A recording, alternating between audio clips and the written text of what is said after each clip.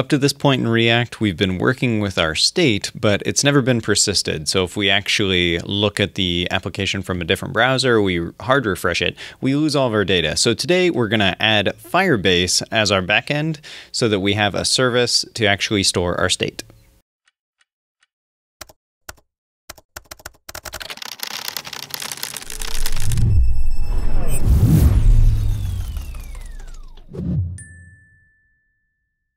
In the previous tutorial, we worked on having multiple songs, so we were storing more than just one song worth of state. But the problem is, is we only have two songs, and they're hard-coded, and that's it. And if we go in and we actually modify a song to have new lyrics, we we get this nice thing where we can hit the back button and go back into song one, and we'll still have those new lyrics. But if we hit Command Shift R or the hard refresh in whatever browser you're using, we lose those lyrics because they're not actually saved anywhere. So what we want to do today is actually rig up a backend for us. And since we're doing a very front end centric tutorial series here, we don't want to have to go through and actually set up like a Rails server or some other thing to actually be our server and manage the database.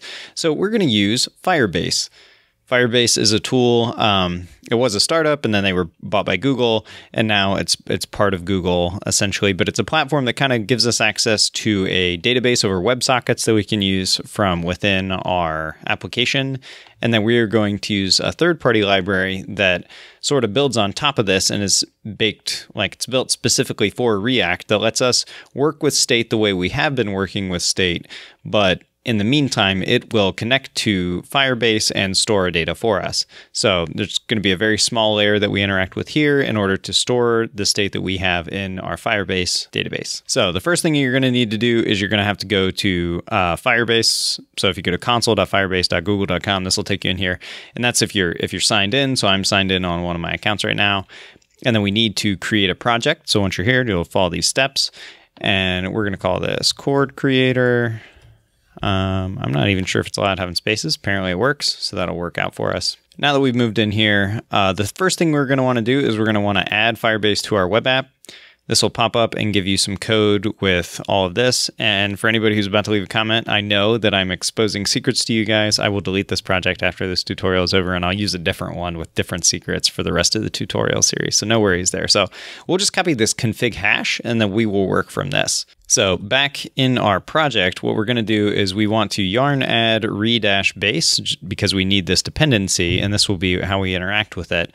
But this is the first thing we've added to our React application to where we're going to need to write some code that's not actually a component. So one of the questions that you might run into is where should I put that? In this particular case, I'm just going to put it at the root of our source directory. So I'm going to go into source, and we're going to call this base.js. In this file, we're going to import rebase from re-base.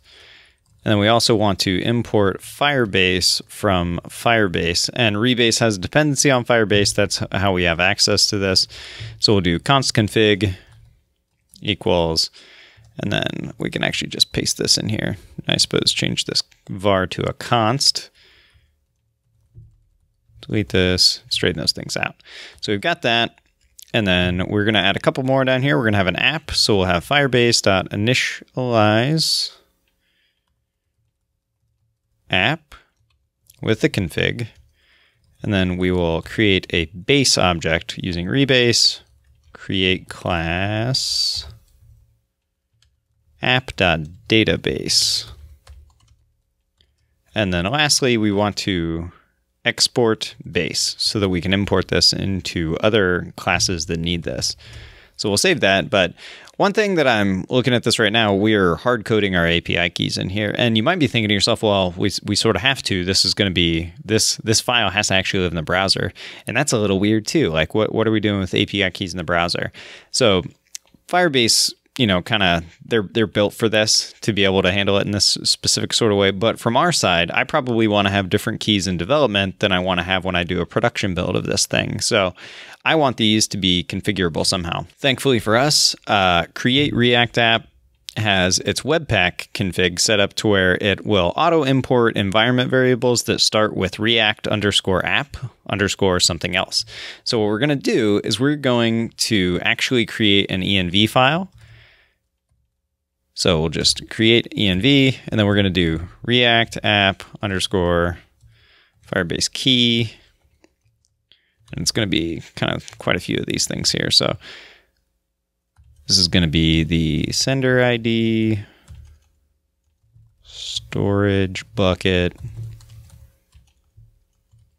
project ID, database.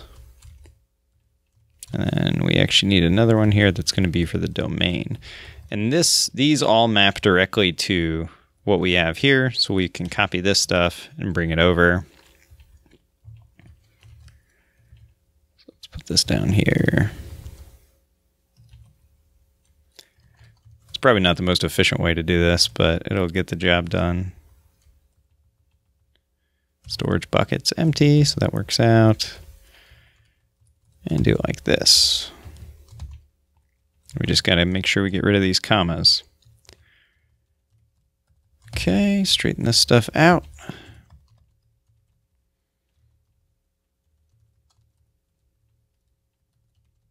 And then we can actually go through and we'll we'll just get rid of the double quotes on all this stuff.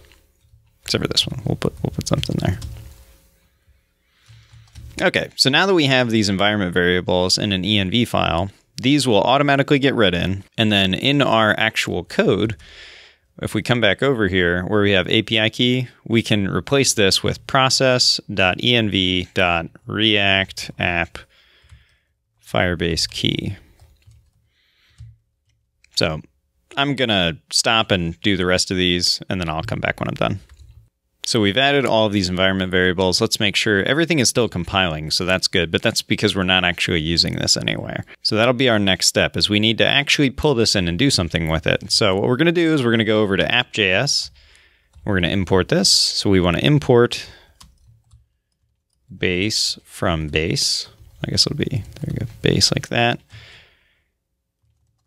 And then if we bounce back over here, it's compiling. It's giving us a thing because it's not used, which is fine. So we're going to get rid of this song state.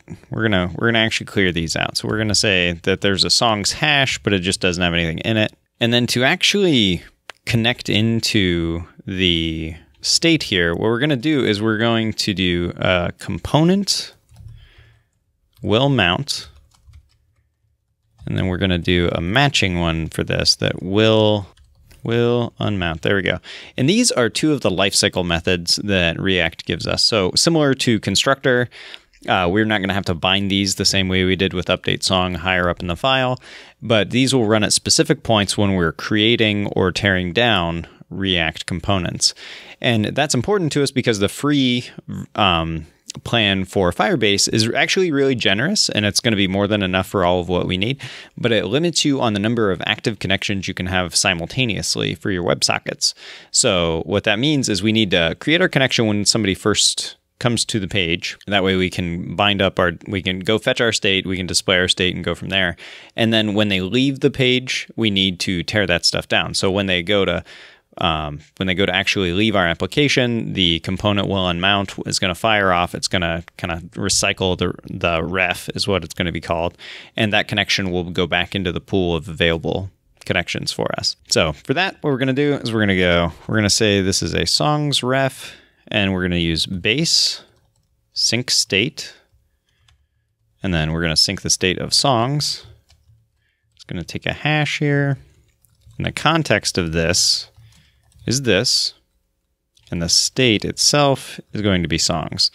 So what this is saying is, okay, I want you to sync into songs inside of Firebase from songs on me. So essentially, this hash is kind of telling it to like, I want songs inside of Firebase to always equal this dot state dot songs.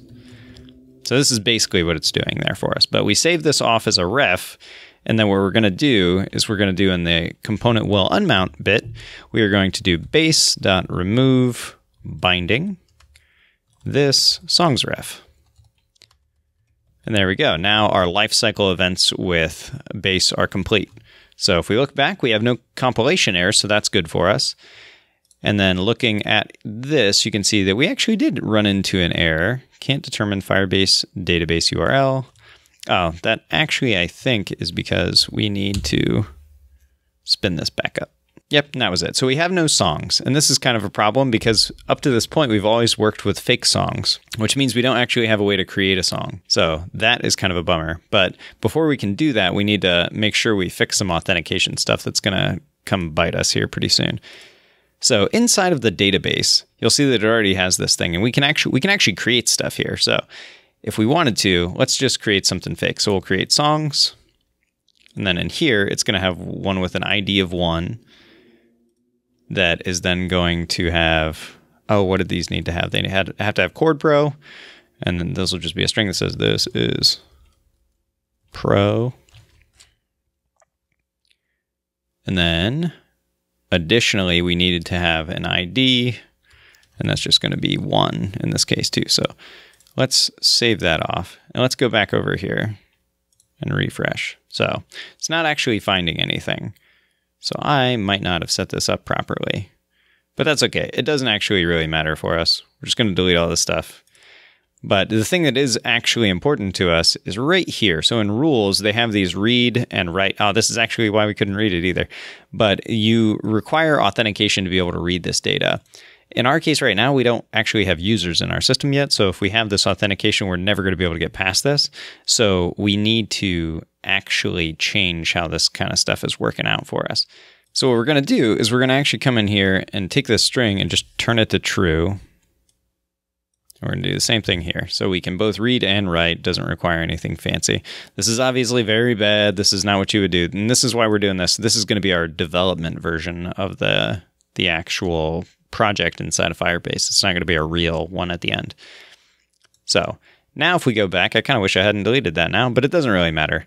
We fixed our rules, so now we should be able to connect to it. But in order for us to actually get this going anywhere, we need to have a way to add songs. So we're going to go up here and add song. We'll give it a title, which this is something that I can't believe we never had previously, but does, you know, make sense that a song would have a title. So we'll say const songs equals and this is, I mean, we're going to be basically doing this. So let's let's copy this and put that in here. And then what we want to do is we want to, we need to generate some sort of unique ID for this. So we're actually going to do that with, uh, by saying date.now, we'll just call this. So this will give us the second timestamp for right now. And this isn't foolproof, obviously, but we're going to assume that we're not going to have people who are hitting things at the exact same second to make songs because we're currently working in development. Um, so eventually, we might we would have a better way of actually generating these things, but um, like it could be based on the user's ID and the timestamp, and then it would be unique because the same person could not create multiple songs at the same time. But for right now, this will do. So and then from here, what we're going to do is we're going to create one with an ID of ID, a title of title, and a chord pro of nothing to start out because this is we're just creating a new song. So that's us adding a new song to the list. And then we are setting the state of songs as is here. So we need to come up here. We need to bind this. So add song is going to equal this dot add song bind this. Save that, make sure everything compiles, and we're good. And this is going to be a kind of a neat thing that I've never shown you before, and that is if you go in and you take a look at the React DevTools, one thing you can do is you can highlight this, and then in the Rails con or not Rails console, in the JavaScript console down here, you can do dollar sign $R, and then whatever it is that you are highlighting, it'll give you that component. So in this case, we can say dollar sign $R add song, my new song, and it will go off and create this for us. So we're on songs uh, slash one, which isn't really any of any use to us. So if we go back to songs, you'll see that now we have song and then the actual timestamp for it. And if we go and we add another one, so let's do that again. So we'll do dollar $R add song, other song. If we look back, it happened instantly right there. We have our, our things going on in here that have their titles and their chord pros all empty. And then we can go in here and this is my new song.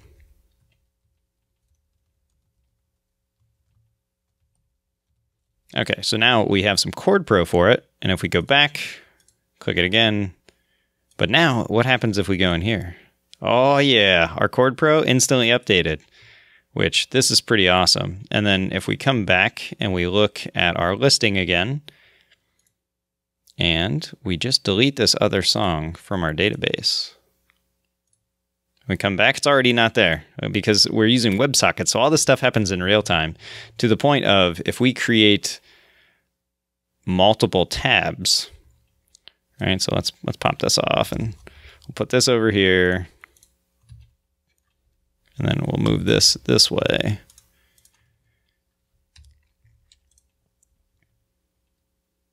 If we look at both of these simultaneously, there's kind of a neat thing that'll happen. So if we if we go in and we both edit these, I think this should just work. Yeah.